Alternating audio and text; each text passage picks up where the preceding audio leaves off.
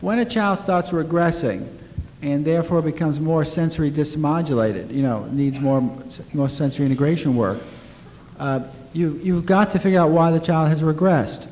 And you've got to work with the parents and look at, and, and get the therapeutic team together. Everyone puts their head together and tries to figure out what's going on here. Usually there are a couple possibilities that need to be explored. Sometimes things are going on in the child's environment. It could be the school environment that's overloading the child. It could be the family environment. It could be a sibling. It could be extended family. It could be a change in diet. It could be change in season with pollens and physical. Could could be a child's on a medication.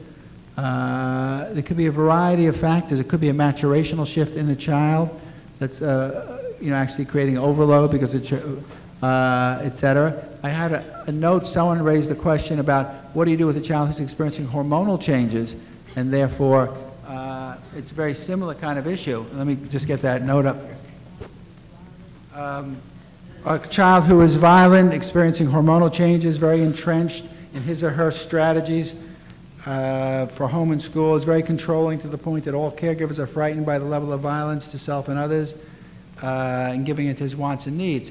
Well, again, you've got to see what's driving the engine here. What changes are predominant? Usually what I see is, is that there's a number of changes that usually lead to regression. Uh, could be start off with hormonal changes like child going through puberty or early adolescence, but then often the home environment or the school environment may, re may react in the wrong way to this child. So frequently children become more willful, the school environment may become more punitive and more controlling and actually increase the problem rather than decrease it, rather than working on soothing and regulating this child.